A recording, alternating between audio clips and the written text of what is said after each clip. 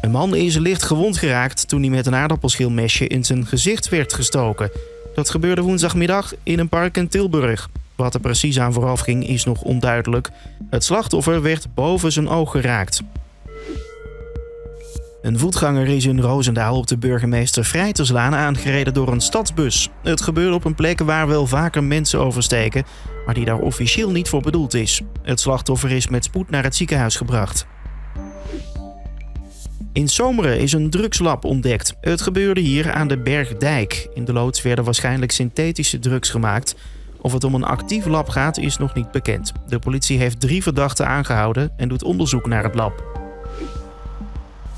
Een groepje boeren protesteerde dinsdagavond in de buurt van restaurant Loetje in Vught.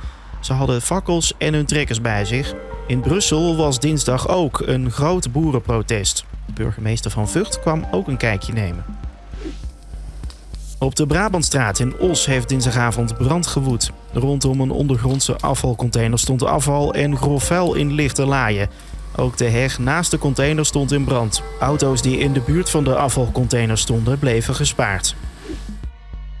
En in Nieuwkuik is een 30 jaar oude cabrio uitgebrand. Op de schoolstraat vatte de auto om nog onduidelijke reden vlam. De bestuurder kon er op tijd uitkomen en belde de brandweer. Die kon niet voorkomen dat van de auto niets meer over is.